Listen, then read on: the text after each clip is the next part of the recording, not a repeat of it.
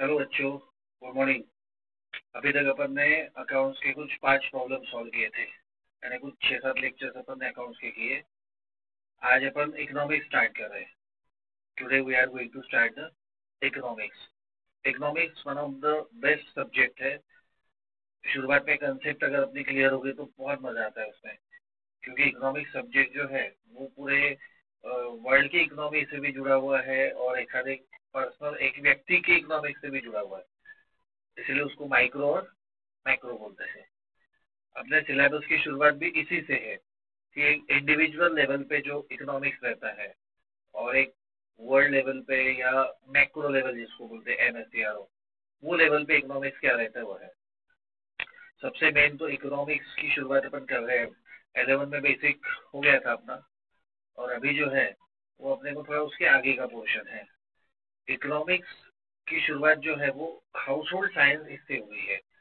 ओक्यूनोमिन यानी house hold science एक house wife अपने घर को चलाते वक्त, अपने लिमिटेड इनकम में से, यानी अपने फैमिली के लिमिटेड इनकम में से अनलिमिटेड वॉन्ट्स को कैसे कंप्लीट करती है, उसको ओक्यूनोमिन कहते हैं, ठीक भाषा में और उससे इकोनॉमिक्स ही शब्द बना है। तो what is economics economics is considered as a science of money, science of household science, है ना? तो सबका इनकम क्या रहता है? लिमिटेड रहता है, सभी का इनकम चाहे वो प्रेसिडेंट ऑफ़ इंडिया हो, हम है, तुम है, कोई भी हो टाटा हो बिरला हो, उसके हिसाब से वो लिमिटेड इनकम रहता है। लेकिन वॉन्ट्स उसकी बहुत ज़्यादा रहती है है ना? मेरी इनकम अगर दस हज़ार रुपये है तो मेरी वॉन्ट्स पंद्रह बीस हज़ार की तैयार होती है।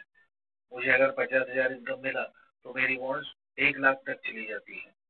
ये जो है, ये वॉन्ट्स और नीड्स इनके बीच में या रिसोर्सेज के बीच में जो कन्फ्रंटेशन होता है, इसी को इकोनॉमिक्स में डिस्कस करते हैं।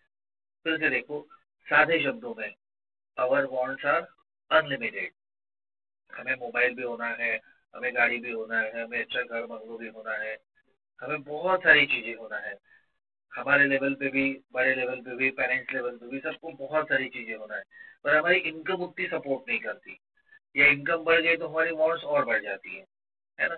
एक दो सौ, तीन सौ रुपये रोज कमाने वाला व्यक्ति है, उसकी लिमिटेड वॉन्ट्स होती है। पर उसकी वॉन्ट्स बढ़ती है तो उतने टाइम पे रिसोर्स नहीं बढ़ते, हैं है ना? मेरे पास समझो एक गाड़ी है तो ठीक है। पर मुझे ऐसा लगता है कि मुझे इससे अच्छी गाड़ी होना, है ना? मेरे पास एक अलग घर है तो मुझे लगता है इससे अच्छा और घर बना सकते हैं तो ये जो वॉन्ट्स है, ये वॉन्ट्स हमेशा बढ़ती रहती है, पर पैसा उतना अनलिमिटेड नहीं मिलता। एक हरा पेड़ हिला दिया और पैसे मिल गए कह झाड़ हिला दिया, पैसे मिल गए, है ना? या हमारे पास ऐसी कोई जादू की ये भी नहीं, छड़ी भी नहीं है कि जिससे हम क्या करें कि पैसे जनरेट करें। तो हमारे पास टाइम लिमिटेड है, हमारे पास इनकम लिमिटेड है, हमारे पास पैसा लिमिटेड है। इस लिमिटेड पैसे में हम अनलिमिटेड वॉन्ट्स को कैसे कंप्लीट करें? ये इकोनॉमिक्स है। फिर से देखो, हमारे पास क्या कमी है? तीन चीज़ों की कमी है। टाइम की कमी है, पैसे की कमी है और एनर्जी की कमी है। क्या चीज़ों की कमी है? तीन चीज़ों की। एनर्जी रिसोर्सेज और टाइम मनी ये हमारे पास लिमिटेड है, लेकिन हमारी वॉन्ट्स अनलिमिटेड होती है है ना? एक को कंप्लीट करे तो दूसरी अराइज होती है। दूसरे को कंप्लीट करे तो तीसरी अराइज होती है। तीसरे को कंप्लीट करे तो चौथी। इस तरीके से एक लंबी लाइन बन जाती है वॉन्ट्स की। मेरे पास एक फीचर फ़ोन था पहले। नोकिया थी तो क्या बोलते थे उसको? बहुत खुश था मैं। पर एक दो महीने में, तीन चार महीने में थोड़े दूसरे मॉडल देखे तो ऐसा लगने लगा रहे इस फ़ोन में तो कोई बहुत कुछ नहीं है। फिर स्मार्टफ़ोन लेने की इच्छा हुई, फिर स्मार्टफ़ोन में दो तीन टाइप फिर उसमें भी और ऊँचा फ़ोन लेने की इच्छा, ये इच्छा सबकी बढ़ती जाती है है ना? एक हदाई व्यक्ति रहता है जो अपनी इच्छाओं पे कंट्रोल करता है, और बढ़नी भी चाहिए। एक्चुअली ये बात किसी को गलत लगेगी, पर इकोनॉमिक्स में जितनी तुम्हारी इच्छा बढ़ेगी, उतना तुम्हारा एक्टिविटी बढ़ेगी, तुम उतना एक्टिव हो जाओगे, है ना? नहीं तो अगर मैंने आज डिसाइड कर लिया कि नहीं नहीं, मैं चप्पल भी नहीं पहनूँगा, जूते भी नहीं पहनूँगा, मैं गाड़ी भी नहीं चलाऊँगा उसके बाद में मैं एकदम सिंपल साधु सन्यासी जैसा एक बहुत महापुरुष जैसा रहूँगा तो क्या करूँगा मैं?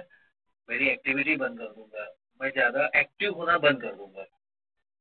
तो एक हिसाब से इकोनॉमिक्स मैंने जहाँ तक पढ़ा है तो उससे मुझे लगता है कि हर आदमी एक्टिव रहना चाहिए। हमारी वॉन्ट्स बढ़ानी चाहिए, अच्छी वॉन्ट्स बढ़ाना चाहिए। कल चल के बुरी आदत लग गई, कुछ किसी को लीकर लग गई ड्रिंक लग गई कुछ गैमलिंग की आदत लग गई तो दैट इज़ नॉट मैं पॉजिटिव वॉन्ट्स की बात कर रहा हूँ। पॉजिटिव वॉन्ट्स मतलब अच्छी चीज़ों की चाहत बढ़नी चाहिए हमारी, है ना? मेरे पास अच्छा कंप्यूटर होना चाहिए, मेरे पास अच्छा फ़ोन होना चाहिए, मेरे पास अच्छी गाड़ी होना चाहिए, उससे क्या हो जाएगा?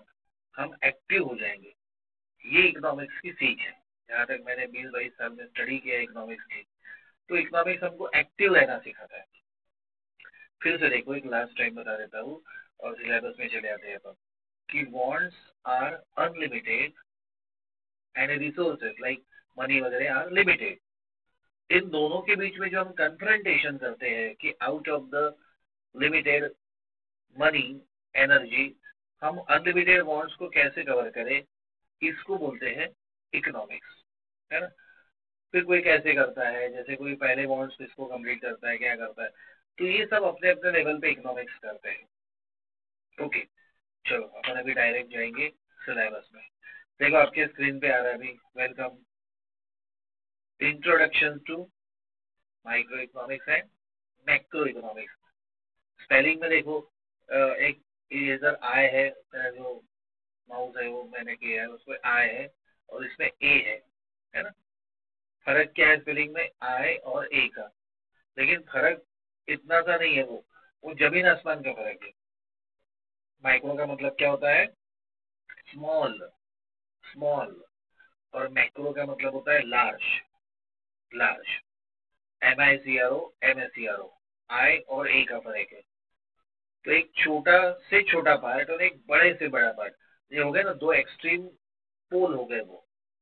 एंड दो एक प्रकार के अलग अलग ज़मीन आसमान जिसको मैंने बोला ना, वैसे टाइप है वो कंसेप्ट में। ये है क्या माइक्रो और macro economics this is the first chapter देखो दोनों की इंट्रोडक्शन एक बेसिक एकदम एकदम चाइल्ड लैंग्वेज में, एकदम स्पून फीडिंग में अपन कर रही है और देखो, इस बुक्स में भी बहुत अच्छे से एक्सप्लेन किया है। Micro economics and macro economics are the two main branches of modern economics जो आज का इकोनॉमिक्स है, उसमें माइक्रो और मैक्रो दोनों भी क्या है? एक ब्रांच है। ब्रांच मतलब क्या है? उसकी शाखाएँ है। उसके दो एक अंग है। Micro Greek word M I K R O S से बना है, माइक्रो से। है ना? उसका मतलब होता है स्मॉल या मिलियंथ पार्ट मिलियंथ पार्ट मतलब छोटे से छोटा पार्ट है ना?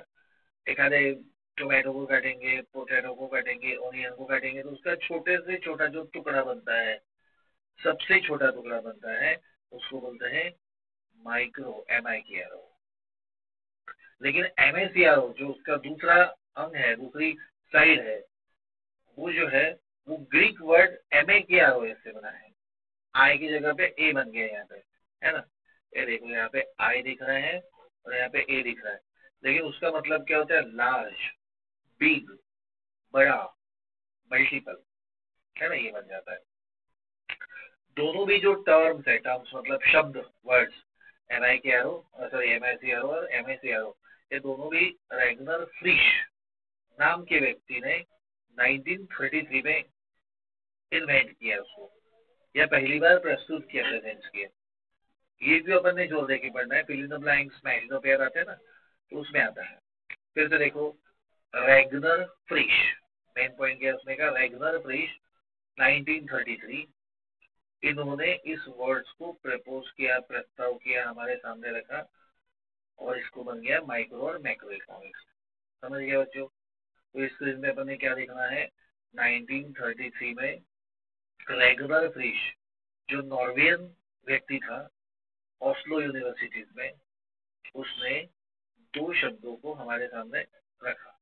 माइक्रो और मैक्रो इकोनॉमिक्स के दो व्यूज़ रखे है ना? इकोनॉमिक्स को स्टडी करने के दो एक्सेस ये देखो डायग्राम भी एक आई कैचिंग है नज़र में बैठ जाती है, डेबिट में माइक्रो है, क्रेडिट में मैक्रो है। आपके दिमाग में अभी बैठ गया, कि there are two branches of economics branch economics micro और मैक्रो अब माइक्रो में क्या है एक एक व्यक्ति के हिसाब से समझा जाएगा, मेरी डिमांड क्या है, मेरी सप्लाई क्या है मेरे पास से, ये सब स्टडी किया जाएगा। पर M S C R economics में मैक्रो में क्या किया जाएगा, थोड़े बड़े लेवल पे। जैसे देखो ना अभी वर्ल्ड लेवल पे मास्क की इतनी ज़रूरत है, अभी कोरोना वगैरह चल रहा है। इसकी स्टडी करना, इसकी पढ़ाई करना, ये एम एस सी आर हो गया। कि दुनिया में कितने मास्क होना। अब एक आधी समझो इंजेक्शन बन गया, एक आधा दवाई बन गई कोरोना की, अभी कोरोना का चल रहा है, इसलिए एग्ज़ाम्पल दे रहा हूँ। तो वर्ल्ड लेवल पे कितनी ज़रूरत पड़ेगी, इसका अंदाज लेना, इसकी स्टडी करना। कि पेशेंट की ग्रोथ कहाँ कितनी है? इंग्लैंड में कितनी है? फ्रांस में कितनी है? इटली में कितनी है? अमेरिका में कितनी है? इंडिया में कितनी है? चाइना में क्या पोजीशन है? ये सब देखना is the M S C R पर एक छोटे लेवल पे स्टडी करना। कि यवतमाल है यवतमाल का एक एक्स वाई जेड पार्ट है है ना? एखादा शिवाजी नगर होगा एखादा टिलकवाड़ी होगा एखादा दत्त जो ये कोई भी एरिया होगा वॉट एवर इट में भी उस एरिया की डिमांड देखना कि यवतमाल में कितनी डिमांड है। या शहर में कितनी है? ग्रामीण विभाग में कितनी है? एक आधे छोटे तालुका लेवल पे कितनी है? ग्राम पंचायत लेवल पे कितनी है? ये छोटे से छोटे पार्ट को स्टडी करना इज़ द माइक्रो है ना? यवतमाल का छोटा पार्ट है एक्स वाई जेड समझो नेर है। तो एक नेर तालुका में कितनी डिमांड है, वो माइक्रो लेवल पे आ जाएगी और वर्ल्ड लेवल की डिमांड देखना, वो मैक्रो लेवल पे आ जाएगी। तो ये स्टडी का पार्ट है। ये कोई दोनों के एक दूसरे में दुश्मन नहीं है, आपस में दोनों का मुकाबला नहीं है। या which one is the best ये भी अपने को देखना नहीं है है ना? These are the angle of study है ना? स्टडी का एंगल है। जैसे चावल पकता है, खिचड़ी पकती है, समझो, ऐसे बिना कुकर के खाली बर्तन में। तो पूरी खिचड़ी दबा के, चावल दबा के नहीं देखेंगे ना, कि पकाए कि नहीं। हम क्या करेंगे, उसमें से एक यूनिट निकालेंगे, एक दाना निकालेंगे, उसको दबा के देखेंगे, और देखेंगे पूरी चावल पकी है कि नहीं। यानी हम माइक्रो से मैक्रो की तरफ़ जाएँगे। ऐसा भी हो सकता है कि एक दाना दबा के पूरी खिचड़ी पकी कि नहीं, पूरा चावल पका के नहीं, उसको टेस्ट कर सकते हैं। ओके तो ये समझ गया ना? तो there are of economics. One is the MICRO and another is the MACRO. और उसका सिस्टमेटिक है कि माइक्रो क्या है और एकदम पहले कैसा किया है कि माइक्रो के बारे में थोड़ा सा दिया है। तो अब ध्यान से देखो माइक्रो मतलब क्या है? Meaning of micro what is meaning of micro so it is now clear कि there is the two study angle या angle of studies one is the micro approach and another is the macro approach these are the approaches in approach को कैसे study करना देखो? इसका meaning देखो, एक एक लाइन देखो, एक एक वर्ड्स को पढ़ो। Micro means small part of thing thing है आधी वस्तु है आधी चीज़ है एखादा आइटम है एखादा फिनोमिना है। तो उस फिनोमिना के छोटे से छोटे पार्ट को स्टडी करना, छोटे से छोटे पार्ट को स्टडी करना। जैसे वर्ल्ड है, पूरा वर्ल्ड है तो वर्ल्ड को अपन छोटे छोटे छोटे बड़े जैसे भी है, वैसे स्टेट में अपन ये करते हैं, है ना? इंडिया है, एक आधा पाकिस्तान है, बांग्लादेश है, अमेरिका है है ना? फिर उसमें के छोटे से छोटे पार्ट्स में अगर आएँगे अपन तो स्टेट लेवल पे रहता है महाराष्ट्र यूपी बिहार। उससे भी छोटे लेवल पे जाएँगे तो डिस्ट्रिक्ट रहता है। डिस्ट्रिक्ट मतलब खास करके यवतमाल नागपुर, अमरावती अपने लिए। उससे भी छोटा पार्ट देखेंगे तो तहसील लेवल पे आ जाते हैं अपन। तहसील लेवल में जैसे दारवादी, ग्रस्त उमर के उससे भी छोटा लेवल देखेंगे तो ग्राम पंचायत लेवल ग्राम पंचायत लेवल मतलब एक तहसील में जैसे यवतमाल तहसील भी है नेर तहसील है, एक दिग्रस तहसील है तो उसमें एक छोटे गाँव रहते हैं, ग्राम पंचायत लेवल बोलेंगे, है ना? तो जनरली वो ग्राम पंचायत लेवल एक छोटा पार्ट हो गया। तो उस लेवल पे स्टडी करना, उनकी रिक्वायरमेंट क्या है? इकोनॉमिक्स रिक्वायरमेंट उनको ज़रूरत किस चीज़ की है? दवाई की ज़रूरत कितनी है, मोटर की ज़रूरत कितनी है पंप की ज़रूरत कितनी है, उस छोटे लेवल को देखना एकदम माइक्रो स्टडी और एकदम वर्ल्ड लेवल पे देखना कि आज वर्ल्ड को, जैसे अपन कोरोना की बात करेंगे तो वर्ल्ड लेवल को दवाई की ज़रूरत कितनी है, क्या लेवल पे सप्लाई होना चाहिए मास्क जो है, उसके में पीपीटी किट रहती है ना डॉक्टर्स यूज़ करते हैं। वो वर्ल्ड लेवल पे कितनी है तो वो एम और छोटे गाँव लेवल पे देखेंगे जहाँ कम जनसंख्या है हज़ार दो हज़ार या जो भी कुछ लेवल होगा उसका। तो वहाँ पे भी ज़रूरत होगी।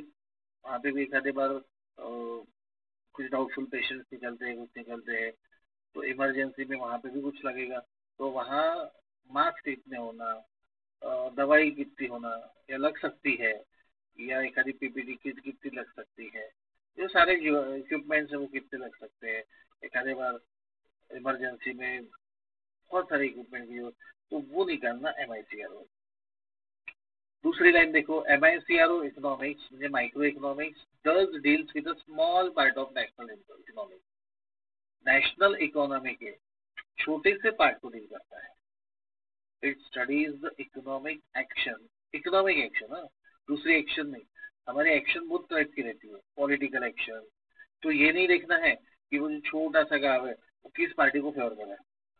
एक आधे बीजेपी को कर रहा है, कांग्रेस को कर रहा है, या एक और किसी पार्टी को कर रहा है, कोई भी पार्टी को कर रहा है, या पूरा देश किसको सपोर्ट कर रहा है, ये नहीं देखना है। दिस इज़ द पॉलिटिकल हम इसमें पॉलिटिकल नहीं देखते। हम इसमें इकोनॉमिक देखते हैं। इकोनॉमिक मतलब पैसों से रिलेटेड अब देखो मैं अच्छे से बताने की कोशिश कर रहा हूँ कि शब्दों को बहुत अच्छे से देखना। देखो इकोनॉमिक एक्शन मतलब इकोनॉमिक एक्शन पैसे के बारे में एक्शन उसकी रिलीजियस एक्शन नहीं।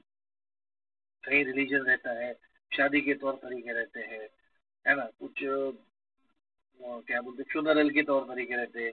किसी धर्म में उसको दफन किया जाता है, किसी धर्म में उसको मान लो अग्नि दिया जाता है। तो ये ही हमारे स्टडी का पार्ट नहीं है नहीं है। हमारे स्टडी का पार्ट क्या है? Economic action of and behaviour of individual unit individual unit मतलब छोटा सा यूनिट जैसे इंडिविजुअल कंज्यूमर म्हणजे एक ग्राहक। पूरा मार्केट नहीं। एक ग्राहक, मैं मेरी डिमांड देखूँगा, है ना? जैसे आज मैंने पेट्रोल भरा तो मैं मेरी डिमांड देखूँगा कि मेरी डिमांड कितनी है। अभी मान लो ये लॉकडाउन की वजह से मेरा पेट्रोल की डिमांड बहुत ही कम हो गई। मैं कम से कम, याद तो नहीं, पर बहुत दिनों के बाद मैं पेट्रोल पंप पे गया, है ना? बड़ी गाड़ी लेके फोर व्हीलर लेके। तो मेरी इंडिविजुअल डिमांड मैं स्टडी कर रहा हूँ तो ये माइक्रो हो गया। लेकिन पूरी यवतमाल की डिमांड या पूरे पेट्रोल पंप पे कितने कस्टमर आ रहे हैं ये लॉकडाउन की वजह से कितने कम हो गई डिमांड कितनी बढ़ गई, या कौन से सेक्टर में बढ़ गई? जैसे गवर्नमेंट सेक्टर में बढ़ गई होंगी। पुलिस का पेट्रोलिंग रहता गवर्नमेंट के डिपार्टमेंट में एस रहते कलेक्टर रहते एसपी रहता, ये सबको ज़्यादा घूमना पड़ता तो उनकी गाड़ी की डीजल की पेट्रोल की डिमांड बढ़ सकती है। लेकिन उसी तरीके से देखेंगे तो मेरे जैसे आम लोगों की कॉमन पीपल की, है ना? डिमांड एकदम घट जाएगी। क्योंकि क्या है, गया एक आधे बार कहीं तो बस वेजिटेबल फ्रूट्स लाना है, कुछ हॉस्पिटल का काम है तो उसके लिए अपन बाहर निकलते हैं नॉर्मली निकलना चाहिए। तो अब देखो मैं क्या समझाना चाहता हूँ कि इंडिविजुअल कंज्यूमर मतलब मेरे अकेले की देखेंगे, मेरे अड़ोस पड़ोस वालों की नहीं है, पूरे मार्केट की नहीं देखेंगे, है ना? इंडिविजुअल प्रोड्यूसर प्रोड्यूसर मतलब माल तैयार करने वाला, है ना? एक आधे माल जैसे साबुन तैयार करने वाले, पंद्रह प्रोड्यूसर है तो पंद्रह प्रोड्यूसर्स की स्टडी नहीं होगी इसमें। एक प्रोड्यूसर की स्टडी होगी। है ना? जैसे गोदरेज वाला क्या कर रहा है? उसका कैसे चल रहा है? वो स्टडी करना is M I C R उसके बाद में फर्म फर्म मतलब बिज़नेस करने वाली संस्था। जैसे अपने जी सी ए है जी वाले कॉमर्स अकेडमी ये क्या है? एक फर्म है। तो पूरे क्लासेस वाले क्या कर रहे हैं? ये नहीं देखेंगे। जीसीए वाले क्या कर रहे हैं? है ना? जैसे अपन ऑनलाइन ट्राई कर रहे हैं। तुम्हारे तक पहुँचने का मैं कोशिश कर रहा हूँ। पूरी इंडस्ट्री यानी पूरी इंडस्ट्री मतलब पूरे क्लासेस वाले क्या कर रहे हैं, इसमें स्टडी नहीं करेंगे। उसका पार्ट है एम एस दूसरा है। पूरे क्लासेस वाले एम एस में आते हैं। पूरे प्रोड्यूसर जैसे पंद्रह साबुन वाले है, यवतमाल में समझो माल मिल रहा है पंद्रह साबुन का तो पंद्रह भी साबुन तैयार करने वाले लोग एम एस में जाएँगे और एक साबुन वाला एम एस में। इंडिविजुअल कंज्यूमर मेरे जैसा, वो एम एस में आएगा और पूरा मार्केट पूरे पेट्रोल की डिमांड यवतमाल की, या डिस्ट्रिक्ट की, या शहर की, वो M S C R O में जाएँगे। अब शायद क्लियर हो गया तुम्हारा। The price of particular commodity और फैक्टर है ना? प्राइस भी पर्टिकुलर कमोडिटी की। पर्टिकुलर कमोडिटी मतलब एक कमोडिटी और फैक्टर फैक्टर मतलब फैक्टर्स ऑफ़ प्रोडक्शन आगे की स्लाइड में अपन सीखेंगे वो क्या है? फैक्टर ऑफ़ प्रोडक्शन रहते हैं लाइन वगैरह, वैसे है। तो इंडिविजुअल लेवल पे स्मॉल लेवल पे सिंगल लेवल पे स्टडी करना इस माइक्रो इकोनॉमिक्स है। अब कुछ डेफिनेशन है। डेफिनेशन मतलब परिभाषा। जो अच्छे अच्छे एक्सपर्ट लोग रहते हैं, वो इस परिभाषा को प्रेजेंट करते हैं। मार्शल है रॉबिन्स है पॉल सैमुअलसन है, ऐसे बहुत लोग हैं जो ये क्या करते हैं डेफिनेशन देते हैं स्टडी करके कुछ डेफिनेशन देखो इंपॉर्टेंट डेफिनेशन पहली है मॉरिस ड्रॉप है ना? Maurice Dobb micro economics is, in fact, a microscopic study of economy. Micro economic क्या है? माइक्रोस्कोपिक स्टडी है. माइक्रोस्कोपिक स्टडी मतलब माइक्रोस्कोप से अगर हमने देखा तो अपन छोटे से छोटे पार्ट्स को बहुत बड़ा करके देख सकते हैं। तो उस लेवल की स्टडी है। Learner microeconomics consist of looking at the economics through microscope अर्थव्यवस्था को माइक्रोस्कोप से देखना as it were to see how the millions millions of cells in the body of the economy. The individual or household as a consumer, individual or firm as a producer play their part in the working of the whole economic organizing. The following charts gives the idea of microeconomics. फिर से देखो Morris डॉब की definition तो बहुत simple है micro मतलब क्या है माइक्रोस्कोपिक स्टडी लर्नर क्या बोलता है billion of cells in the body of economy एक इकोनॉमी मतलब एक व्यक्ति समझो और उसके जो मिलियंस छोटे छोटे सेल्स है है ना, छोटी छोटी पार्ट है उसके, उस पार्ट्स को स्टडी करना, है ना, पूरा ये माइक्रोस्कोपिक है माइक्रो इकोनॉमिक्स देखो अब डिटेल में स्कोप ऑफ़ माइक्रो इकोनॉमिक्स इसका स्कोप क्या है है ना स्कोप मतलब क्या है, वो कहाँ तक फैला हुआ है? सीधा सीधा उसका उपयोग क्या है? उसका फ्यूचर कैसा है? क्या उसमें स्टडी आता है? जैसे कोई बोलता है ना ये कॉमर्स का स्कोप क्या है? ये साइंस में स्कोप क्या है? सी ए करने से क्या स्कोप है? सी एस करने से क्या स्कोप है? वैसे ही है। स्कोप तो उसका स्कोप क्या है देखो? तो कौन से एरिया तक वो फैल सकता है? किस लेवल पे जा सकता है? तो there are three of the scope of the micro economics one is the theory of factor pricing दूसरा प्रोडक्ट प्राइसिंग सॉरी दूसरा थियरी ऑफ़ फैक्टर प्राइसिंग तो पहला प्रोडक्ट प्राइसिंग दूसरा फैक्टर प्राइसिंग तीसरा theory of economic welfare economic welfare बहुत ही बहुत ही interesting है फिर से देखो प्रोडक्ट प्राइसिंग प्रोडक्ट प्राइसिंग मतलब एक वस्तु की, जैसे हम वस्तु देखते हैं, चीज़ देखते हैं पिन से लेके पियानो तक, है ना? छोटी सी पिन से लेके बड़े मोटर तक हेलीकॉप्टर तक, जितने भी चीज़ें हैं, उसकी वहाँ पे स्टडी होती है, पर इंडिविजुअल लेवल पे। उसके बाद में फैक्टर प्राइसिंग फैक्टर प्राइसिंग मतलब क्या है? देर आर चार four factors of production there are four factors of production हमने एलेवन में देखा था। फैक्टर्स ऑफ़ प्रोडक्शन चार कौन से हैं? The first one is the land L A N D land ज़मीन।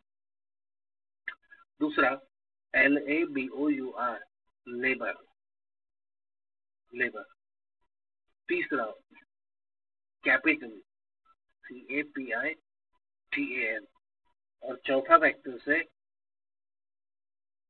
entrepreneur E N T R E T R E N E U R entrepreneur तो इस तरीके से there are four factors of production उनको जो remuneration मिलेगा, वो बदला मिलेगा। भाड़ा है, भाड़ा किसको मिलेगा? लैंड वेजेस है वेजेस किसको मिलेगी? जो लेबर्स है। उनकी द्वारा दी जाएगी। ये मालिक के द्वारा वेजेस दी जाएँगी लेबर को। इंटरेस्ट जो पैसा उधार लाया था, उसको भी इंटरेस्ट देना पड़ेगा। और प्रॉफिट प्रॉफिट मतलब क्या है? बचा हुआ। ये सब होने के बाद जो बचेगा, वो तुम्हारा क्या रहेगा? प्रॉफिट रहेगा। मुझे वेजेस देना है रेंट देना है उसके हमें प्रॉफिट खुद को मिलता है। इंटरेस्ट देना है, मानो तुमने बाहर से पैसे लाए हैं बैंक से पैसे लाए हैं, मानो तुमने तुम्हारे दोस्तों मित्रों से भी पैसे लाए तो उनको बैच देना पड़ सकता है।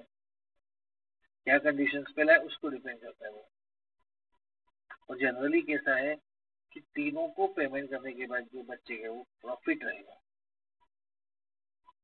ठीक है?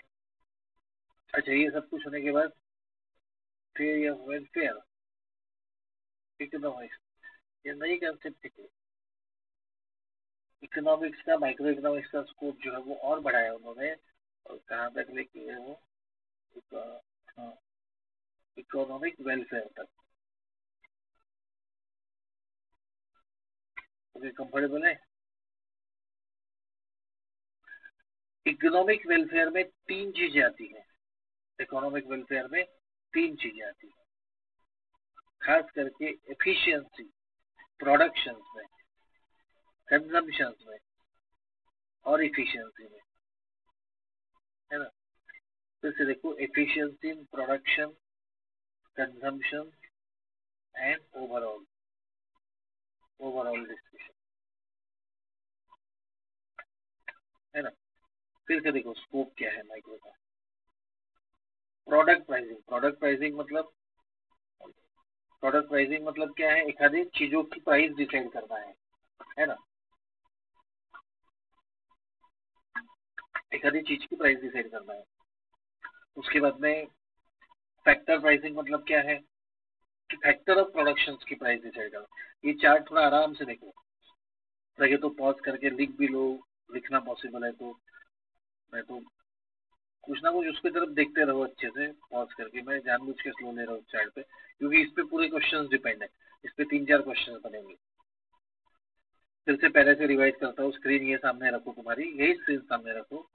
पहले अपन ने क्या देखा? 1933 में राइगनर फ्रिश नाम के ओस्लो यूनिवर्सिटी में एक जो नॉलेज साइंटिस्ट था, उसने इस दो शब्दों को कॉइन किया। कॉइन किया मतलब बनाया। कौन सी शब्दों को? माइक्रो और मैक्रो को।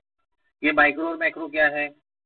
इकोनॉमिक्स के दो स्टडी करने के एंगल है है ना? अभी कैसा अपना एक पचास लोगों की बैच है। तो पचास लोगों की बैच में मैं एक दो बच्चों को क्वेश्चन पूछूँगा और सारे बच्चों की स्टडी हो गई क्या? ये चेक करूँगा। तो ये क्या हो गया मेरा माइक्रो अप्रोच माइक्रो अप्रोच मतलब पूरे पचास को क्वेश्चन नहीं पूछा मैंने, एक दो को क्वेश्चन पूछा। ये बताओ माइक्रो इकोनॉमिक्स का मतलब क्या है? माइक्रो का क्या है? फटाफट आंसर दिए उन्होंने तो मैं समझ जाऊँगा बैच बहुत अच्छी है। एक अप्रोच है मेरा। पर कभी कभी मेरे को ये गलत लगता है कि नहीं नहीं, दो जनों ने आंसर दिया तो क्या? फोर्टी एट लोगों ने भी, मुझे पचास लोगों की स्टडी बराबर है। तो मैं ये देखूँगा कि पचास लोगों को भी टेस्ट लूँगा या क्वेश्चन पूछूँगा, बता माइक्रो क्या है, बता।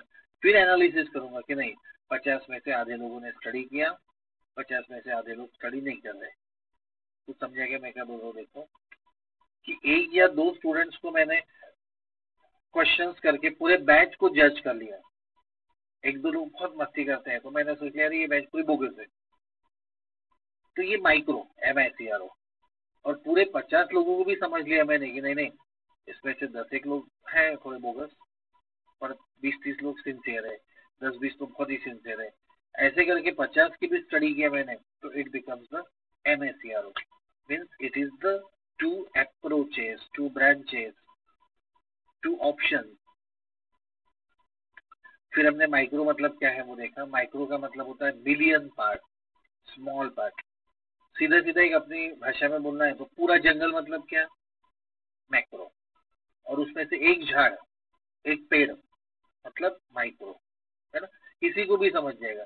ये तुम दसवीं भी पास नहीं होंगे तो भी समझ जाएगा, ऐसी भाषा में बता रहा total jungle is the M S C R O and एक पेड़, एक झाड़ मतलब क्या है? M S C R O है ना? एक झाड़ की स्टडी करना मतलब माइक्रो पूरे जंगल की स्टडी करना माइक्रो फिर इसका स्कोप देख रहे हैं मैं जानबूझ के यहाँ रुका था, है ना कंफर्टेबल होने के लिए। स्कोप क्या है फिर से देखो। प्रोडक्ट का प्राइसिंग प्राइसिंग मतलब क्या? कीमत डिसाइड करना। फैक्टर का प्राइसिंग उसकी कीमत लगाना और इकोनॉमिक है है ना। ये सब अपन समझ लेंगे। अभी डिटेल में समझ लेंगे, पर अगले स्क्रीन में देखो। फैक्टर प्राइसिंग है ना, जो अपन ने ए नंबर बोला था फैक्टर प्राइसिंग उसमें डिमांड और सप्लाई दो चीज़ों को स्टडी किया जाता है। देखो line two line the price of individual commodity is determined by market forces of demand and supply देखो कितना मस्त दिया है है ना? बहुत बड़ा एक सीक्रेट अपने को पता चल रहा है, ये मार्केट में प्राइस कैसे डिसाइड होती है? है ना शांता भाई आती है, किशन राव आते हैं सब्ज़ी बेचने के लिए फ्रूट बेचने के लिए दत्ता चौक में। तो ये क्या मूड देख के प्राइस डिसाइड करते हैं कि आज बहुत अच्छा मूड है तो ग्राहकों को बीस रुपए किलो दे दो टमाटो वगैरह, है ना? आज बहुत झगड़े करके आए आज नर्वस है तो चालीस रुपए किलो बेचो ये रहता क्या उनका? मूड देख के उनका चेंज होता है क्या प्राइस नहीं। तो मार्केट में प्राइस कैसे डिसाइड होती है? कितना इंटरेस्टिंग है देखो। मार्केट की प्राइस आपने पढ़ा ना अभी? डिटरमाइन बाय किससे डिटरमाइन होती है? दो फोर्स फोर्स मतलब ताकत. पहली ताकत कौन सी है? डिमांड दूसरी ताकत कौन सी है? सप्लाई तो बोलेंगे ये क्या नया है? है ना? किसी भी मार्केट में अमेरिका में जाओ यूएसए में जाओ ब्रिटेन में जाओ, कहीं पे भी जाओ, वड़गांव, लोहारा में जाओ पाटा पंगड़ा जाओ, किन्हीं जाओ, कहीं पे भी जाओ, छोटे लेवल पे जाओ, बड़े लेवल पे जाओ, दो ही फोर्स मिलेगी आपको। और वो फोर्स ताकत, शक्ति क्या है? यस बराबर। डिमांड और सप्लाई अब आप सीधा देखो ना एक आधी चीज़ की डिमांड बढ़ गई, बहुत डिमांड बढ़ गई तो क्या हो जाएगा? उसकी प्राइस अब चली जाएगी, बढ़ जाएगी, है ना? एकदम बढ़ जाएगी।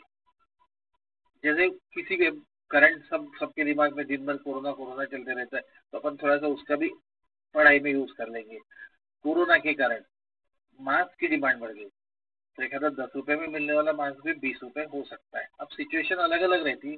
कभी गवर्नमेंट कंट्रोल कर लेती है, कभी कोई सोशल सर्विस वाले फुकट में भी बैठते हैं, वो वो नहीं। अपन एक नॉर्मल सिचुएशन देखेंगे, है ना? कि बीच में जैसे एक, कोई डिसीज आया था तो उसमें कोई टैबलेट थी, जैसे पैरासिटामोल वगैरह है तो उसको खाने से वो होगा नहीं, ऐसा अगर लोगों ने सोच लिया तो उसकी डिमांड इतनी बढ़ गई थी कि पूरी दुकान के वो गोलियाँ खत्म हो जाती है। डिमांड बढ़ने से फिर वो भी महँगा देना शुरू करते हैं डबल रेट लगा दे ट्रिपल रेट लगा दे वॉट एवर रेट में जैसे अभी भी देखा लॉकडाउन में कुछ कुछ चीज़ों की डिमांड बहुत बढ़ गई, और वो चीज़ मिली नहीं, खास करके सैनिटाइजर सबसे बेस्ट एग्ज़ाम्पल है। आप देखो ना, सब अमिताभ बच्चन से लेके सबने एडवर्टाइज किया गवर्नमेंट ने भी फैला दिया है ना, अच्छी सी बात बताई उन्होंने कि आप बार बार हाथों को धोना, और वो भी सैनिटाइज करना सैनिटाइजर करना है सैनिटाइजर यूज़ करना है। तो आप देखो, शुरुआत के दौर में मैंने मैं मार्च में खुद ऑब्ज़र्व किया, याद है मुझे। अभी की सिचुएशन अलग होगी आज की, आज अपन मई महीने में। तो सैनिटाइजर की डिमांड बढ़ने से कुछ कुछ लोगों ने, जैसे मैंने दो तीन लोगों को ऑब्ज़र्व किया इतनी प्राइस बढ़ा दी। है ना, एक हंड्रेड रुपीज़ की बोतलों की तो टू हंड्रेड में कर दिया, है ना? और फिर भी नहीं दे रहे, पहचान वालों के दे रहे। क्योंकि उस समय सैनिटाइजर जो अवेलेबल था मार्केट में, उससे ज़्यादा डिमांड आ गई। तो वो क्या हो गया, उसकी प्राइस बढ़ गई। फिर गवर्नमेंट ने अलग अलग अलग इलाज किए वॉच रखा कलेक्टर ने ऑर्डर दिया कि इसकी प्राइस मत बढ़ाओ, ऐसा है बहुत सारे वो इलाज, वो दूसरी चीज़ें। पर आप देखो डिमांड एक कोर्स है ना। डिमांड बढ़ गई तो उसकी जो प्राइस है वो बढ़ जाती है। अभी ऑनलाइन एजुकेशन की डिमांड बढ़ेगी तो उससे क्या हो जाएगा? ऑनलाइन जो इक्विपमेंट है, खास करके वेब कैम रहता है, एक आधा कुछ स्पीकर रहेगा, एक आधा और कुछ इक्विपमेंट रहेगा। शायद उसकी डिमांड बढ़ जाएगी, उसकी प्राइस भी बढ़ा देंगे ये, है ना? क्योंकि उतना प्रोडक्शन तो एक दिन में होना नहीं है। जैसे एकदम लोगों ने वेब कैम मंगना शुरू कर दिया कि हमको वेब कैम होना। तो यवतमाल में ज़्यादा से ज़्यादा सौ लोग वेब कैम खरीदने वाले थे इस महीने में, लेकिन ये ऑनलाइन एजुकेशन के कारण हज़ार लोगों ने डिमांड कर दी। तो उतने तो वेब कैम स्टॉक में नहीं होंगे। तो स्टॉक में नहीं होंगे तो डिमांड बढ़ जाएगी। अब दूसरा एंगल देखो सप्लाई सप्लाई भी बहुत इंटरेस्टिंग है। मुझे सारे शब्दों में समझा रहे हैं, पर डिटेल में समझ रहे कि कभी ज़िंदगी भर याद रहेगा तुमको ये मार्केट और मार्केट याद करो, एक आधे अपने घर के आजू बाजू का कि सप्लाई बहुत बढ़ गया सप्लाई बहुत ही बढ़ गया। तो उसकी प्राइस कम हो जाती है है ना? छोटे छोटे एग्ज़ाम्पल देखो। बीच में देखो ये जो तरबूज रहते हैं, अंगूर रहते हैं, वो बहुत आगे थे मार्केट में। कहाँ से आगे, क्या मालूम? इतने आगे, उसकी प्राइस कम हो गई।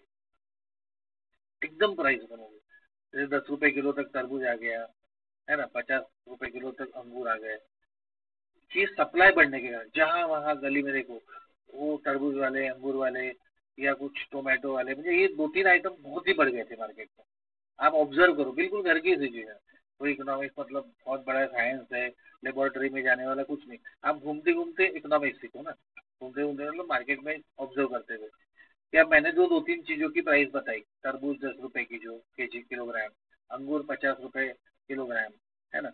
एक आधा टोमेटो बहुत स्टॉक आया तो बीस रुपए किलोग्राम पर सप्लाई और बढ़ गया तो कीमत कम हो जाएगी। पर अब देखो थोड़ा सा सप्लाई कम हो गया। समझो, अंगूर अब कम आने लगे, यहाँ से भी आते थे। तो क्या हो जाएगा? अंगूर की प्राइस अस्सी रुपए किलो तक जाएगी, सौ रुपए किलो तक भी जाएगी। वो डिपेंड करता है मार्केट के सप्लाई पे कि कितने लोग बेच रहे हैं। है ना? उसके बाद में बीच में मुझे गाजर होना था तो गाजर मार्केट में मिला नहीं। एक ही जगह मिला तो उसने बहुत प्राइस लगा दी डबल टिबल प्राइस लगा दी, क्योंकि सप्लाई ही नहीं था। अब टोमेटो का सप्लाई बढ़ गया तो कीमत कम हो गई। अब टोमेटो कम हो गए तो टोमेटो चालीस रुपए किलो तक हो जाएँगे, है ना? तरबूज अब गायब होने लगेंगे, समझो। अभी तो आज तो है, आज मैंने देखा है घर पर धीरे धीरे वो भी कम हो जाएँगे, कुछ महीनों में, कुछ दिनों में तो उसकी प्राइस बढ़ती जाएगी। ऐसे कितने, हर आइटम का ऐसा है हर आइटम का। सिर्फ़ जिसका कंट्रोल गवर्नमेंट करती है ना, उसका नहीं रहता ऐसा। जैसे पेट्रोल का कंट्रोल गवर्नमेंट करेंगी, ये केरोसिन का जैसे राशन की दुकान का, जैसे दो रुपए किलो चावल दे रही है, या गेहूँ दे रही है तीन रुपए किलो, तीन रुपए किलो चावल दे रही है, दो रुपए किलो इनके बारे में नहीं लगेगा ये रूल डिमांड और सप्लाई का, क्योंकि क्या है, वो गवर्नमेंट कंट्रोल्ड है। I am talking about the open economy free economy जिसपे किसी का कंट्रोल नहीं है है ना? है क्या कोई ऐसा ऐसा भाई दत्तजोग में कि जो प्राइस डिसाइड करेगा? सबने पचास रुपए किलो आलू बेचना सबने तीस रुपए किलो ऑनियन बेचना ऐसा कोई नहीं है वहाँ पर। या कोई रख नहीं सकता। वो कैसे डिसाइड होता है? फिर से देखो कि डिमांड और सप्लाई पे। डिमांड बढ़ गई खाली चीज़ की तो उसकी प्राइस बढ़ती है। पर उसी समय सप्लाई बढ़ा दिया तो उसकी प्राइस क्या होती है? कम होने लगती है। एक लास्ट एग्जांपल देखिए अभी आगे बढ़ेंगे अपन। कि पहले साइंस की डिमांड बहुत बढ़ गई बढ़ने लगी, एकदम बढ़ने लगी। जो दसवीं पास होता था, पास होता था, कम परसेंटेज भी रहे तो मैं साइंस लेता। ये हमारे ज़माने में याद है मुझे। तो क्या होने लगा? साइंस की ट्यूशन की फ़ीस इतनी बढ़ गई, इतनी बढ़ गई। आज कितनी पता? डेढ़ लाख रुपए, एक लाख रुपए, ये रेंज में। मुझे उनके वो P M T P A T रहता थी एक टेंटेटिवली आप देखो साइंस के ट्यूशन की बारहवीं की ट्वेल्थ की एलेवन ट्वेल्थ की फ़ीस कितनी है? लाख डेढ़ लाख रुपए में है। ये ऑल सब्जेक्ट की बोल रहा हूँ मैं। मैथ भी आ गया, तुम्हारा बायो फिजिक्स क्या रहता है, वो सब सब आ गया। पर लाख से डेढ़ लाख के रेंज में है, अच्छे क्लासेस में, है ना? कोई दस हज़ार में पढ़ा रहा हूँ तो वो मुझे पता नहीं। मैं, देखो इकोनॉमिक्स पढ़ाते वक्त ये व्यू रखना है कि अपन ज़्यादा से ज़्यादा लोगों को सोचते हैं। है ना, अस्सी परसेंट लोगों को सोचना है। दस बीस परसेंट एक्सेप्शन होंगे। जैसे मैंने बताया कि डेढ़ लाख रुपए फ़ीस ले रहे हैं तो तुम बोलेंगे, नहीं नहीं, हमारे घर के बाजू में एक गली है, वहाँ पे एक सर ने बेबी ट्यूशन शुरू किया, वो तो दस हज़ार में पढ़ा रहे हैं, या फुकट ही पढ़ा रहे वो संस्था है तो वो नहीं देखना अपन है पता अस्सी परसेंट लोगों को देखना है, क्योंकि इकोनॉमिक्स क्या है? ह्यूमन बिहेवियर साइंस मनुष्य के स्वभाव से है। परफेक्शन नहीं रहेगा। है ना? नहीं तो मैं बोल दूँ, जैसे डेढ़ लाख फ़ीस है तो तुम बोलेंगे, नहीं नहीं, डेढ़ लाख तो कोई फ़ीस नहीं है, सब दस हज़ार ले रहे हैं, बीस हज़ार ले रहे हैं, वो नहीं। तो मैं जो बोल रहा था कि साइंस की डिमांड बढ़ती गई, सारे student science science science science करने लगे तो साइंस की फ़ीस क्या होगी बढ़ने लगी। और लाख, डेढ़ लाख तक, है ना? डेढ़ लाख रुपए फ़ीस वाला भी मैं ट्यूशन क्लास बताता हूँ तुमको। आप बोलो मुझसे पूछेंगे तो मैं नाम के साथ भी बता सकता हूँ ये डेढ़ लाख रुपए वहाँ ट्यूशन ले रहे हैं।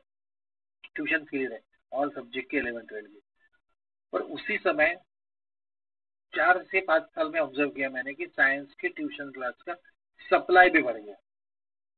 सप्लाई भी बढ़ गया। सप्लाई मतलब जहाँ वहाँ गली में साइंस की क्लासेस हो। गई फिर ऑटोमेटिकली उसका परिणाम क्या हो गया कि फ़ीस कम करना पड़ा उनको। जो डेढ़ लाख रुपए ले रहे थे, वो one lakh one lakh twenty five thousand लेने लगे। उसमें भी कोई पहचान का होगा तो उसको दस हज़ार कंसेशन पाँच हज़ार कंसेशन दसवीं में अच्छे मार्क्स होंगे तो एक लाख में पढ़ाऊँगा मैं। ये ये सब आ गया। आप देखो, ये क्या है ट्यूशन क्लासेस की संख्या बढ़ गई। आज कॉमर्स में देखो कॉमर्स में कम क्लासेस है तो एक एक्सवाइजेड फ़ीस है। और इस साल मान लो ऐसा चार लोगों ने और शुरू किया, चार ट्यूशन क्लासेस शुरू हो गए, है ना?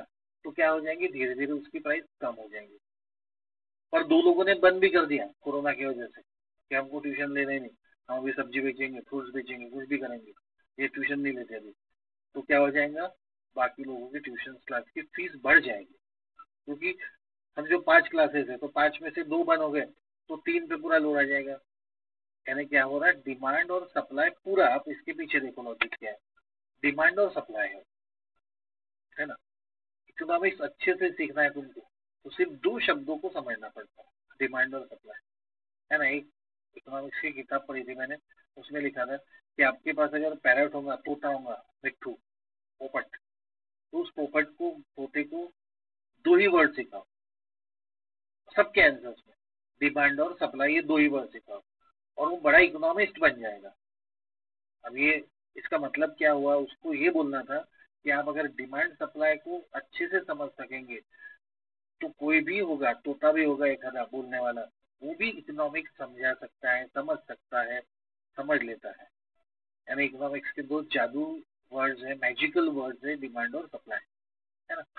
अब आगे बढ़ेंगे। Micro economics is concern with demand analysis that is individual consumer behaviour supply analysis वही वही बात है डिमांड और सप्लाई और इंडिविजुअल प्रोड्यूसर बिहेवियर है ना?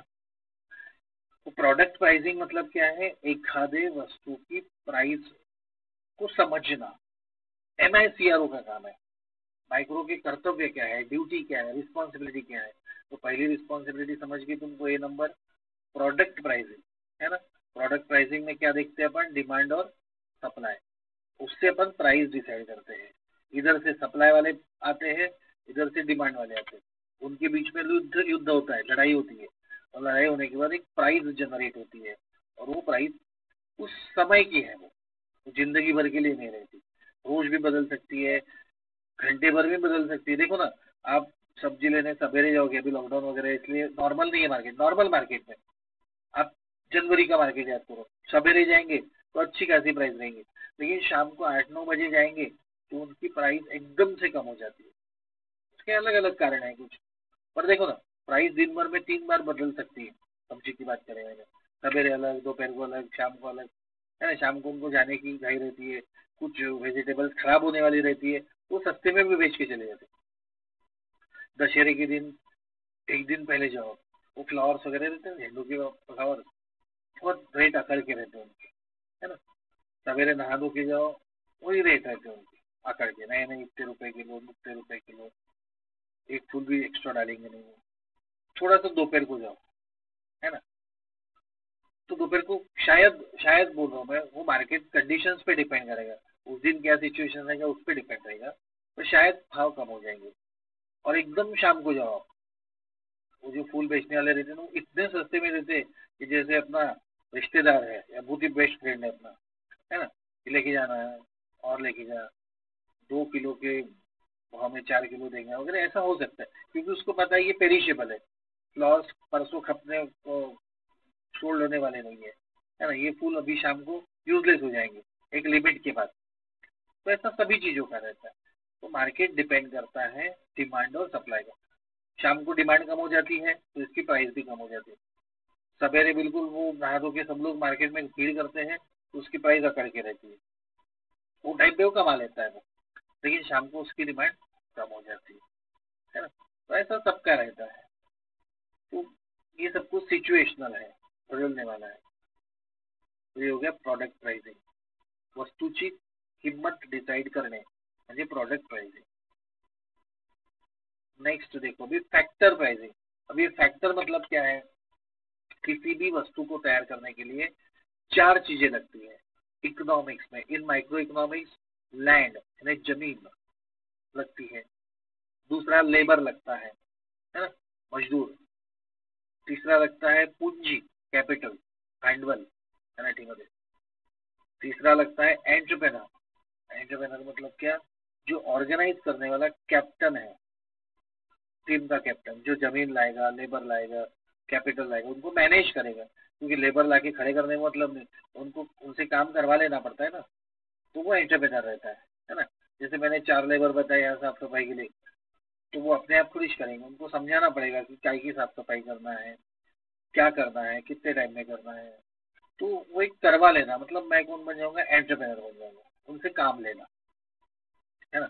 हमारे पास सब कुछ तैयार है, पर फिर भी एंटरप्रेनर नहीं है। बहुत अच्छी ज़मीन है, देखो, बहुत अच्छी ज़मीन है, कुछ फ़ायदा नहीं है। बहुत अच्छे लेबर है हमारे यहाँ के, बहुत काम करने वाले, बहुत पैसा भी है, पर वो तीनों भी तभी एक्टिवेट होता है, जब एंटरप्रेनर होता है है ना?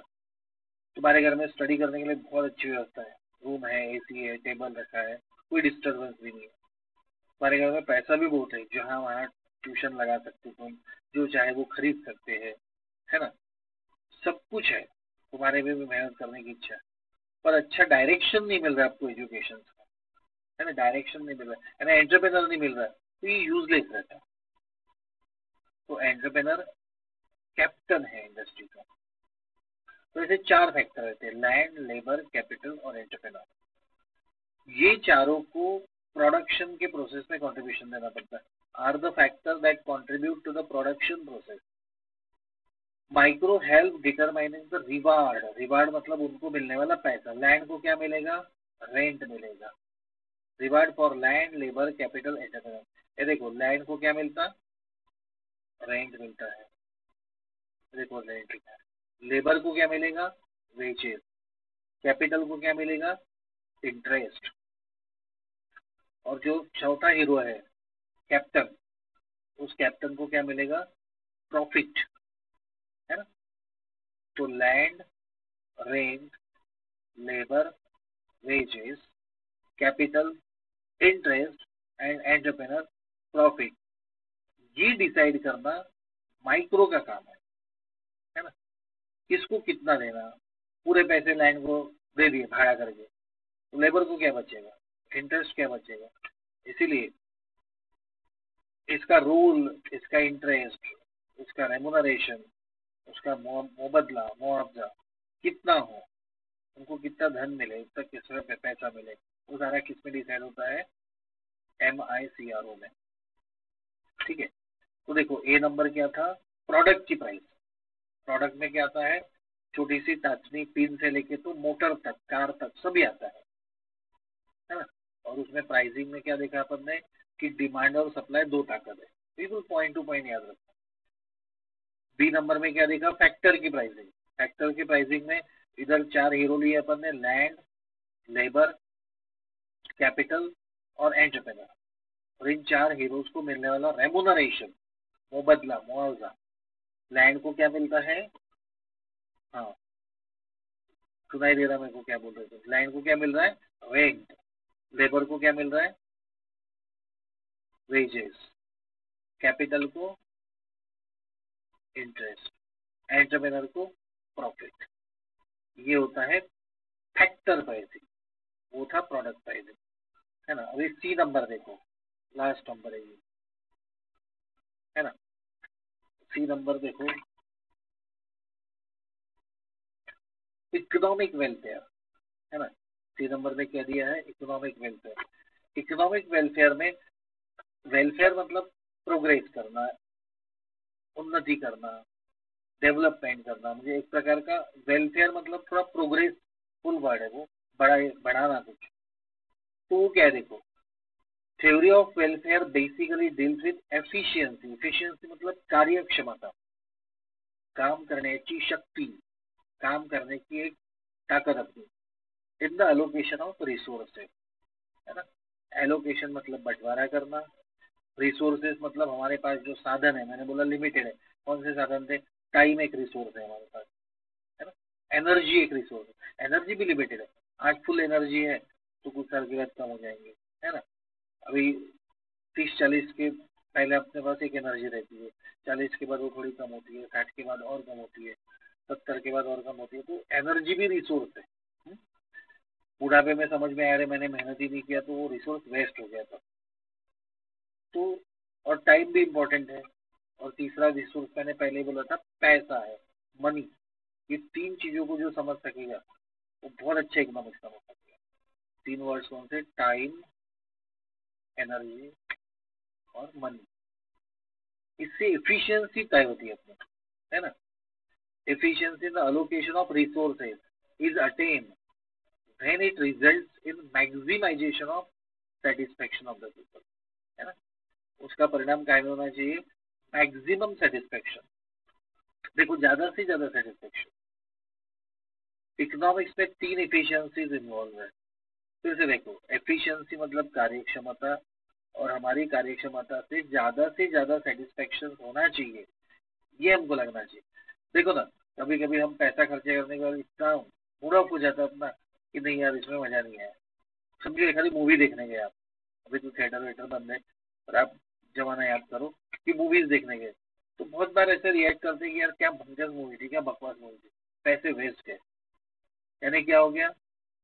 मैक्सिमाइजेशन ऑफ़ सेटिस्फेक्शन नहीं हुआ हमारा। हमारा समाधान नहीं हुआ।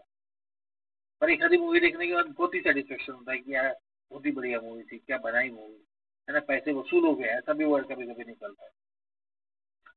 एक आधे बार कुछ खाने पीने के बाद भी ऐसा लगता है कि यार, फालतू यहाँ पे आए अपने होटल में रेस्टोरेंट्स में, पूरे पैसे वेस्ट हो गए कोई टेस्ट नहीं था, कोई सर्विस नहीं थी कोई ढंग से अपने को कोई सेटिस्फेक्शन नहीं मिला, एक वर्ड पर कभी कभी थोड़े कम पैसे खर्चे हो गए, लेकिन सेटिस्फेक्शन बहुत अच्छा मिला। हम बोलते ना, यार, कितना बढ़िया सर्विस थी वहाँ पे। रेट भी ऐसे खास ज़्यादा लगाए नहीं उसमें है ना? This all are related to economics मुझे आप देखो इकोनॉमिक्स मतलब बहुत हाई फाई कोई चीज़ नहीं है। कि आसमान को जाके छूना है है ना? कोई एरोप्लेन टेक्नोलॉजी है, एरोप्लेन कैसे बनता है, वो सीखना सिंपली मैं कौन सी एग्ज़ाम्पल दे रहा हूँ? सब्ज़ी market, fruits market, hotel, restaurant. जो हम रोज भी नहीं जाते होंगे तो भी हम समझ सकते इस चीज़ को। मैं क्या समझा रहा हूँ? है ना? बिल्कुल आजू बाजू की चीज़ों से। एकदम Tata company, Birla company, Reliance company में जाने से अच्छा। अपन अपने रहते जो एखादा आर्मी रोड या तुम जहाँ रहते हो, वो मार्केट भी देखा। तुम जो गाँव में रहते हो जो एरिया में रहते हो, वो भी मार्केट देख लिया आपने। है ना? तो भी हम ये सब इकोनॉमिक समझ लेते हैं। अब तीन इफिशियंसी कौन सी देखो? लास्ट लास्ट स्टेज में अपन कंफर्टेबल बैठे हो अभी, थोड़ी सी पाँच दस मिनट के लेक्चर बाकी अभी।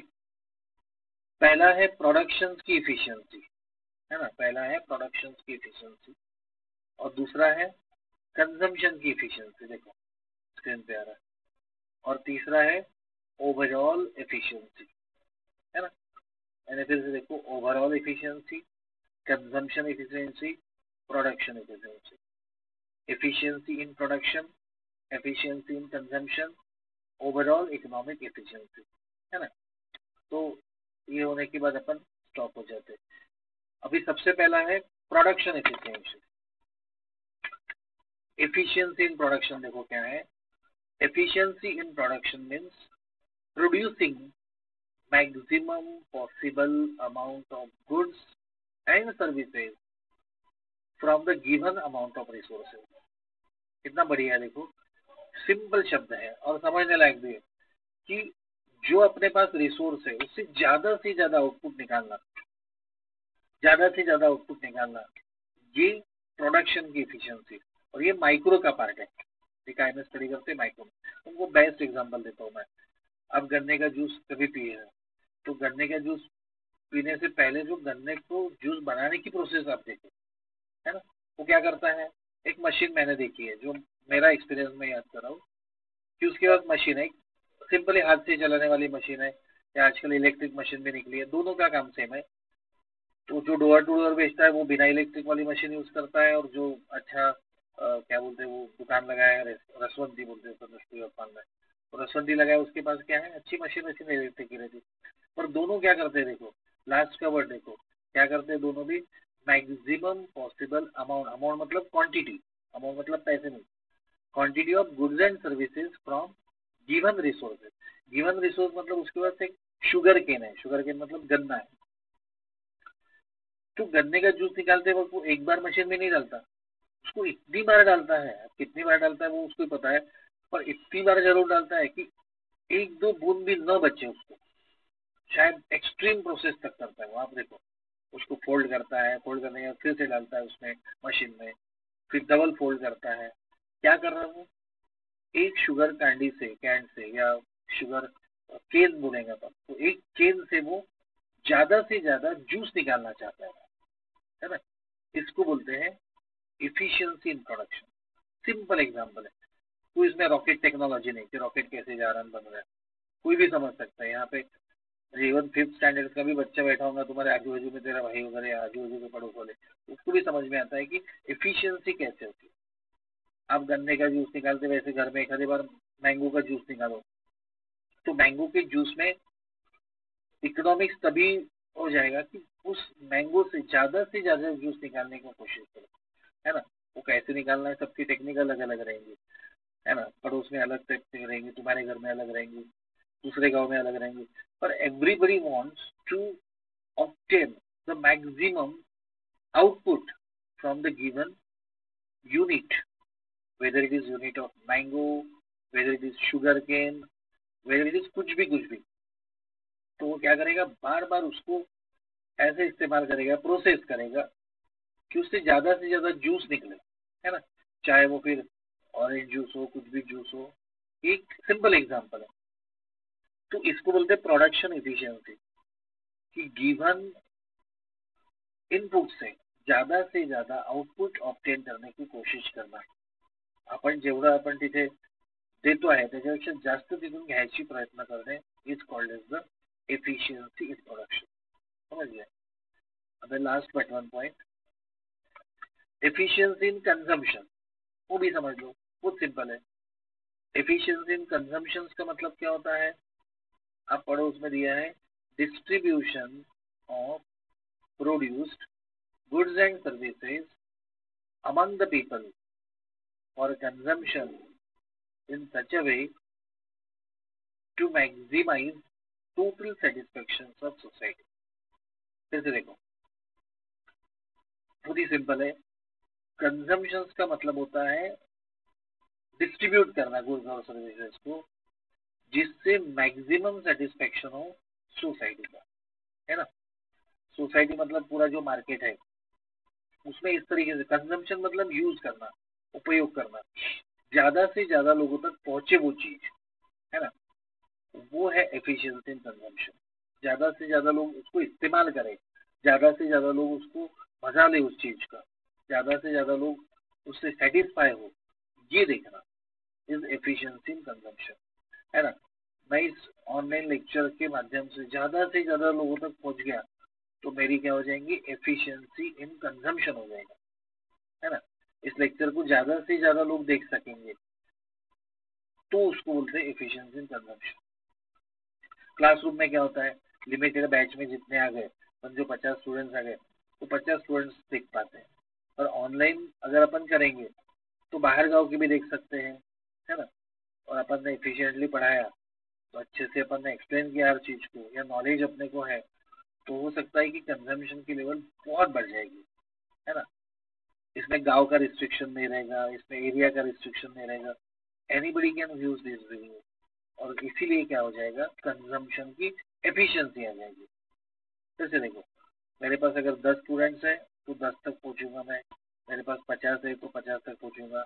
पर मैं ऑनलाइन हूँ तो तीन सौ चार सौ पाँच सौ तक आराम से पहुँच जाऊँगा। तो ये क्या हो जाता है? Maximum total satisfaction to the society okay तो पहला क्या था? प्रोडक्शन दूसरा क्या था? कंजम्पशन अभी लास्ट देखो। हाँ। ओवरऑल इकोनॉमिक एफिशिएंसी देखो लाइन टू लाइन क्या है? ओवरऑल मतलब सभी कुछ। It means production of these goods which are most desired by the people देखो कौन सी चीज़ तैयार करना वॉट टू प्रोड्यूस क्या तैयार करना क्वेश्चन अराइज हो जाएगा। वॉट टू प्रोड्यूस तो वो चीज़ प्रोड्यूस करो जो चीज़ लोगों को लगती है। फिर से देखो, बहुत ही सिंपल शब्द है। वो चीज़ प्रोड्यूस करो जो चीज़ लोगों को लगती है। अब देखो ना, ये लॉकडाउन के जमाने में ऑनलाइन का महत्व बढ़ गया है। तो पता है बड़ी बड़ी कंपनी मेरे को खुद को फ़ोन आया टीसीएस से। टाटा कंसल्टेंसी सर्विस से जो उन्होंने इंटरनेट से नंबर निकाला होगा, अपन के वर्ल्ड पॉपुलर नहीं है तो तुम बोलेंगे मन के उनमें को फ़ोन आया? तो उनका फ़ोन आया और बोले कि हम ऑनलाइन लेक्चर्स कैसे लेना उसकी सर्विस देते हैं फ्री ऑफ़ कॉस्ट देते हैं। उसके बाद में जस्ट डायल वालों का फ़ोन आया मुझे जीडी वालों का। तो बोले कि ऑनलाइन लेक्चर्स के लिए हम भी मदद करते हैं लोगों तक पहुँचने के लिए। कि कैसे पहुँचना उनके पास कुछ होगा टेक्निक कुछ प्लेटफॉर्म होगा। उसके बाद में एक पर्सनली यवतमाल का एक व्यक्ति भी आया था, वो भी बोला मेरे को हमारे पास सॉफ्टवेयर है रिकॉर्डिंग कैसे करना पहुँचना मतलब आप देखो ना, ये लॉकडाउन पीरियड में तीन अच्छे अच्छे ऑर्गेनाइजेशन से कांटेक्ट हुआ मेरा। हो सकता है कि बहुत लोग इसमें काम कर रहे होंगे। मेरे जैसे लोगों को, तीन लोगों ने कांटेक्ट किया मतलब मार्केट में तीस लोग होंगे। जो ये सर्विस प्रोवाइड करेंगे ऑनलाइन लेक्चर उससे रिलेटेड प्रॉब्लम्स उससे रिलेटेड इशू क्यों? क्योंकि अभी जो लाइन मैंने पढ़ाई, वो कि वो तैयार करो which are most desired by the people लोगों को वो होना है है ना? वो होना है। इसको बोलते overall efficiency micro theory shows under what conditions these efficiencies are achieve तो माइक्रो वाले ये बताते हैं कि किस परिस्थिति में ये हम हासिल कर सकते हैं। कोणत्या परिस्थिति हे अपन प्राप्त करू शकू। तो इस तरीके से ये माइक्रो का ओवरऑल अप्रोच है। फिर से देखो, तीन अप्रोच क्या देखे अपन ने? प्रोडक्शन कंजम्पशन ओवरऑल एफिशिएंसी है ना? और ओवरऑल एफिशिएंसी में क्या देखना है? वो चीज़ प्रोड्यूस करो जो सोसाइटी को लगता है। आज समाज को मास्क की ज़रूरत है। क्योंकि गवर्नमेंट ने बोल दिया कि बिना मास्क का देखेंगे तो फ़ैन लगा देंगे है ना? और नहीं भी निकलना चाहिए। गवर्नमेंट ने फ़ैन भी नहीं लगाया तो भी। तो आज क्या हो गया? ऑटो ऑटोमोबाइल मास्क की डिमांड बढ़ गई। अरे कितने मास्क खरीदे जितने लोग उतने मास्क और उससे ज़्यादा, ये दो दो, तीन तीन, चार चार भी रखे लोगों ने, क्योंकि वो बार बार इस्तेमाल करने से खराब हो जाता है, या कुछ समय के बाद उसको भी बदलना पड़ता है ना। तो उसकी डिमांड सोचो कितनी बढ़ गई। हाथ को धोना अच्छे से सैनिटाइजर की डिमांड बढ़ गई। तो सैनिटाइजर का प्रोडक्शन करो। इतनी सारी न्यू कंपनी आ गई। पता है मैंने न्यूज़पेपर में पढ़ा कि वो एक शुगर फैक्ट्री है, कोई तो भी, उन्होंने भी सैनिटाइजर प्रोड्यूस करना शुरू कर दिया। तो इसको बोलते ओवरऑल इकोनॉमिक इफिशियंसी शुगर तो रोज ही तैयार करते जो सैनिटाइजर तैयार करेंगे, उनके पास रिसोर्सेज है, उनके पास इनपुट है इनपुट मतलब रॉ मटेरियल है, वो तैयार कर रहे हैं, है ना? तो ये सब इकोनॉमिक इफिशियंसी को बढ़ाना है। या मैंने ऐसे भी देखे, एक दो हॉस्पिटल अपने हॉस्पिटल में तो नहीं देखे, पर बाहर गाँव देखे कि उन्होंने अपना हॉस्पिटल पूरा का पूरा कोरोना के लिए डोनेट कर दिया जैसे। यहाँ सिर्फ़ कोरोना की पेशेंट्स को हम सर्व करेंगे इन द नेशनल इंटरेस्ट तो वो भी है। कुछ होटल्स ओनर ने भी, नागपुर में भी इवन ऐसा कर दिया कि होटल का होटल दे दिया। लोगों को क्वारंटाइन करना है डाउटफुल पेशेंट रखना है। तो ये सर्विस का प्रोडक्शन हो गया। होटल का प्रोडक्शन नहीं हो गया, वो तो निर्माण होटल पच्चीस साल पहले का है, बीस साल पहले का है।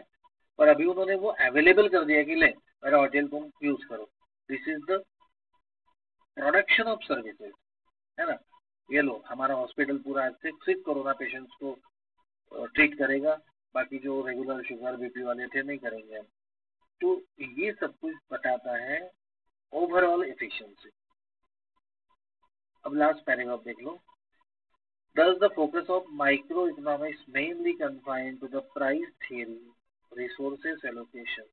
है ना प्राइस theory और resource allocation कहता है it does not study the aggregate aggregate मतलब total aggregate मतलब पूरा जंगल relating to whole economy whole मतलब total economy this approach does not study national economic problem अब देखो क्या नहीं करते हम इसमें स्टडी माइक्रो में क्या नहीं स्टडी कर रहे हैं नेशनल इकोनॉमिक प्रॉब्लम स्टडी नहीं कर रहे जैसे बेरोजगारी अनएम्प्लॉयमेंट कितने लोग अनएम्प्लॉयमेंट है, और हम इसमें करेंगे नहीं तो इसमें मतलब माइक्रो में नहीं करेंगे, वो मैक्रो में करेंगे, इसमें करेंगे एम एस पावर्टी गरीबी है, पूरे वर्ल्ड में है भारत में गरीबी ऐसा नहीं रहता, है ना? अमेरिका में भी गरीब है। तो गरीबी के कारण क्या है, वहाँ उसको इरेडिक्ट करने के लिए क्या करना है, इसकी स्टडी हम इसमें नहीं करेंगे। नई शब्द है नॉट स्टडी बोला है ना, ये देखो, है ना? तो नॉट स्टडी है वो नॉट स्टडी क्या नॉट स्टडी बेरोजगारी अनएम्प्लॉयमेंट पावर्टी गरीबी। इनइक्वालिटी और समानता इनकम की, है ना? किसी के पास इतना पैसा इतना पैसा है, बहुत पैसा है। कोई मिडिल क्लास है, कोई पुअर क्लास है, यानी इनकम में इनइक्वालिटी है। दो सौ तीन सौ रुपये इनकम कमाते कोई कोई हज़ार, दो हज़ार कमाता है, कोई कितना भी कमाता है, पता नहीं कौन क्या कमाता है। पर इनकम की इनइक्वालिटी असमानता है, वो भी हम स्टडी नहीं करेंगे। थ्योरी ऑफ़ ग्रोथ है ना ग्रोथ मतलब क्वांटिटी बढ़ना। Theory of business cycle theory of business cycle monetary and fiscal policy monetary मतलब पैसे की पॉलिसी है ना। गवर्नमेंट जो पैसे की पॉलिसी बनाती है पैसा कितना छापना, निकालना इशू करना प्रिंट करना, उस दिन गवर्नमेंट ऑफ़ इंडिया ने 2000 की नोट छापना शुरू कर दिया, फिर 1000 की नोट कैंसिल की, फिर 500 की नोट कैंसिल की। ये ये सब क्या है? मॉनिटरी पॉलिसी है। है ना? कौन सी नोट बंद करना, कौन सी नोट शुरू रखना, कौन से कॉइन्स को छापना, कौन से कॉइन्स को नहीं छापना। प्रिंटिंग बोलते उसको। नोट छापने को प्रिंटिंग और कॉइन्स बनाने को मिंटिंग बोलते हैं। तो प्रिंटिंग मिंटिंग जो है, वो है मॉनिटरी पॉलिसी और दूसरा है फ़िज़िकल पॉलिसी है ना? फ़िज़िकल पॉलिसी मतलब गवर्नमेंट की इनकम की और एक्सपेंसेस की पॉलिसी जैसे गवर्नमेंट ने बोल दिया कि एक साल हम सरकारी नौकरी में भर्ती नहीं करेंगे। यानी क्या नहीं करेंगे? नए गवर्नमेंट सर्वेंट्स को खर्चा नहीं करेंगे उसके ऊपर। उनकी पगार का खर्चा, उनका ट्रेनिंग का खर्चा। बच गया गवर्नमेंट का ये पॉलिसी डिक्लेयर करने से। वो कौन सी पॉलिसी होगी? फ़िज़िकल पॉलिसी फिर गवर्नमेंट ने डिक्लेयर कर दिया कोरोना की वजह से कि कोई भी डिपार्टमेंट वाले कंस्ट्रक्शन नहीं करेंगे। यानी जैसे एम वाले नई बिल्डिंग बना रहे हैं। अब उनका पता नहीं वो रुकेंगे कि क्या, पर नई बिल्डिंग नहीं बनाएँगे। उनकी अभी पुराना सैंक्शन था दो साल पहले का तो चलेंगे वो। और अभी एक आधे के मन में आए पीडब्ल्यू डी हम नया बनाते हैं। या किसी ग्राम पंचायत को लगा, किसी नगर परिषद को लगा कि हम नई बिल्डिंग बनाते हैं। तो नहीं बना सकेंगे। ये क्या हो गया? फ़िज़िकल पॉलिसी खर्चे में कटोगे सिर्फ़ कौन सा खर्चा करेंगे? आवश्यक खर्चा, जैसे डिफेंस खर्चा है, सेना मिलिट्री वगैरह, जैसे एजुकेशन है, वो भी चलते रहना चाहिए। जैसे हेल्थ है हेल्थ मतलब हॉस्पिटल है फ़ूड है शेल्टर है, इन पे खर्चा करेंगे। पर काय पे खर्चा नहीं करेंगे? नई रिक्रूटमेंट नहीं करेंगे हम। नया कंस्ट्रक्शन वगैरह नहीं करेंगे। गवर्नमेंट ऑफ़िस का वगैरह या नए स्कूलों का निर्माण नहीं करेंगे। ये फ़िज़िकल पॉलिसी है। Etcetera are beyond the limit of micro economics यानी माइक्रो में क्या क्या एलर्जिक है? एलर्जी मतलब नहीं किए जाते। अनएम्प्लॉयमेंट बेरोजगारी पावर्टी गरीबी। इनइक्वालिटी ऑफ़ इनकम असमानता, आय की इनकम की। उसके बाद में बिज़नेस साइकिल की theory monetary policy physical policy ये सब गवर्नमेंट स्टडी नहीं करते। M I C R O में। एक आई होती है स्टडी मैक्रो में। ओके समझ गया? अभी मैं तुमको फिर से एक बार रिवाइज करता हूँ। दो मिनट में रिवाइज कर देता हूँ पूरा। पहले से क्या पढ़ा? आप देखो। आप भी आँखें बंद करके याद करो। सबसे पहले हमने देखा कि there are two types of economics micro and macro both words are derived from Greek words MIKRO and MIKRO. Norwegian economics Techner Fish has coined this in 1933. Okay. There are two branches of economics. In the debit side, micro MICRO means smallest aspect and macro means largest branch. What do you mean by micro? In a simple words, microeconomics means study of smallest part, billion part. It is the slicing method. When we make a slice of potato, tomato, onion, etc. The smallest slice is called as the micro and the study of that slice is called as the micro. When we divide the large economics into several parts, the study of smallest part is called as the microeconomics. Then we have studied the definitions of two brilliant economists, the Maurice Dobb and Lerner both are expressed the views about the microeconomics. And what is microeconomics according to them? It is the microscopic study. What is meant by microscopic study? Microscopic study means looking into the billions of cells in the body of economics. The things which is very, very large, smallest, become the large in microscope. So it is the microscopic study according to Dobb and Lerner. Definition must be written as it is. Don't change the definition. Then the last important part, we have studied the scope. What is mean by scope? Scope means area of microeconomics. In which area the microeconomics is operated? Be comfortable. Microeconomics is operated in the three areas. One is the theory of pricing, that is called the A. Product pricing means deciding the price of the product. Second is the deciding the price of factor. Factor means factor of production. And product means pin to piano, any product. Factor means land, labor, capital, entrepreneur. And economic welfare means do that things to reach with maximum customer, which is called as the production, then consumption, then overall efficiency. See once more. Product pricing means deciding the price of the product. And there are only two forces of economics. Which two forces? Demand force and supply force, which decide the price. In a simple words, if the demands are increasing, price may also increase. If the demand is decreasing, the price may be decreasing. This is called as the product pricing. Now second is the factor pricing. There are four factors of production.